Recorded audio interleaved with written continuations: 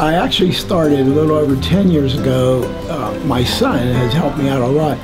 He had a dentist friend up in Pittsburgh that I went to see, and he's the one that originally uh, took out what remaining teeth I had left and put in the post.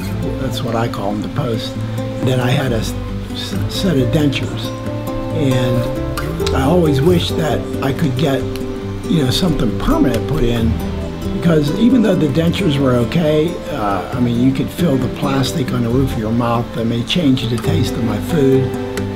Well, my son moved down to Atlanta and he met Dr. Curry and he asked if I'd want to come down and meet him. And I'm like, you know, I, sure.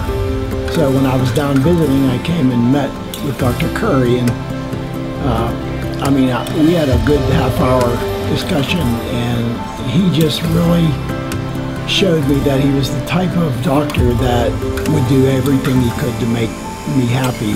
Uh, so, so that really meant a lot to me.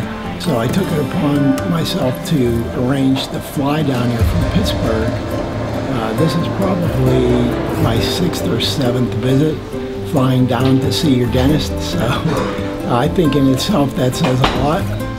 And this is the final day and uh, my expectations have just been blown out of the water. Um, I feel so good right now. My teeth look really fantastic, but more importantly, they feel great. Uh, I have not had teeth where I could feel comfortable going out and eat because you know I always had embarrassing moments, uh, and now I, I, can tell that's that's in the fill in the little uh, access holes and polish up everything so it's ultra smooth and Go pick something you wanted to eat for a while. and Give it a whirl. Fantastic.